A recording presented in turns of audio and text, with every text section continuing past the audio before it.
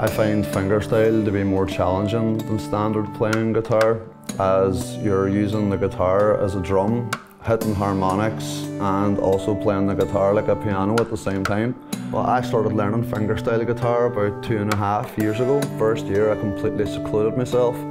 So I just sat at home every day for 10 hours a day playing the guitar, trying to get some kind of grasp on it because as much as I thought it was impossible, I thought if I stuck at it I could get it in the end. Well, artists like Jon Gomm and Andy McKee were a big influence on me taking up fingerstyle. What they were doing on the guitar was revolutionary. Uh, Andy McKee took it up after seeing the man who actually started fingerstyle, Michael Hedges, play live at a concert and Andy put down the electric guitar and lifted up the acoustic and has never really put it down since. So I seen what they were doing and thought, right, I'm sick of playing just standard guitar. I want to try and go outside the box like Andy and Jon have done. So uh, Every day I'm just trying to get as good as them boys. Now I would practice maybe five, six hours a day. So maybe like 35 hours between Monday and Friday. I always try and get in at least 40 hours a week.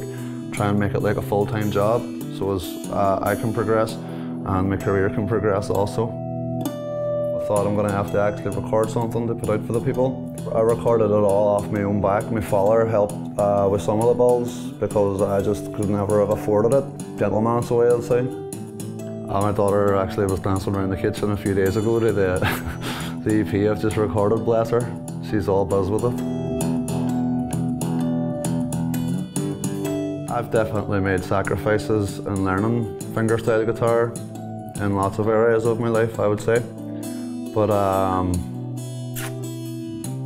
hopefully I can make it up to everyone in the future once I'm successful. Fingers crossed. If I had to leave Derry to further my career, then I would, but it wouldn't be a permanent thing as my family, friends and heart are in Derry City. My hopes for the future would be to be successful enough to be able to pay the bills with my music. Um, give my daughter everything she wants and just play, just play three, four nights a week to people that respect the music.